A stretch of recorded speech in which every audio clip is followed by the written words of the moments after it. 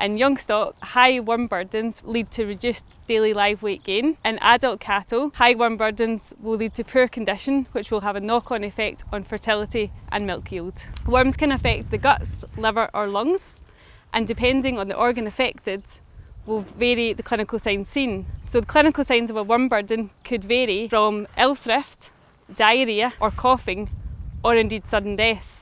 Some worm burdens will have no clinical signs, so it's important to know what's going on in your cattle. A build-up of parasites in the summertime on the pasture can overwinter and infect cattle grazing the next spring. The eggs of gastrointestinal and other types of parasites can be found in the faeces.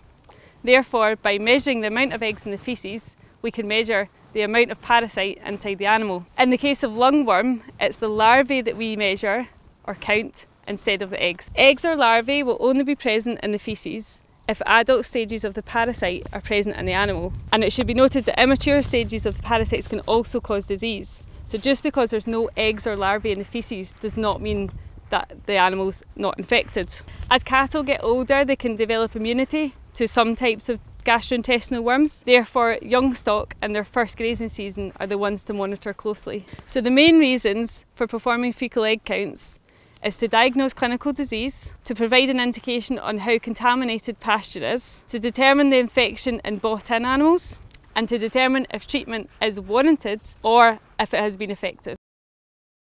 You need four heaped dessert spoonfuls per animal. Take from at least three areas of the dung pat and mix well.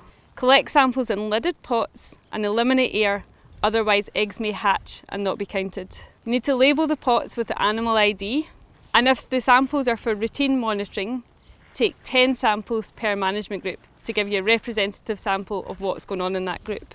Take them to the lab on the same day, or if this isn't possible, store them overnight in the fridge. Make sure you take details of when the group was last dosed and what with. So you should end up with 10 samples in pots. Make sure you get all the air out the pots by scraping the top clean Try to clean the outside of the pot so they're clean for the lab staff handling them and you can just pop them in a freezer bag and bring them to the lab. You should sample young stock every three to four weeks throughout the grazing period and then three to four weeks after housing. That extends to 12 weeks after housing in the case of fluke. If you're testing to see if anthelmintic treatment has been effective, you should test two weeks after using benzimidazoles macrocyclic lactones or flukicides, or 7 to 10 days after using levamisole. The lab will provide you with a worm egg count per gram of faeces. You should discuss this result with your vet to come up with a sustainable and strategic worming plan that could save you time, labour and overall money and improve productivity and the way of growth rates in your herd.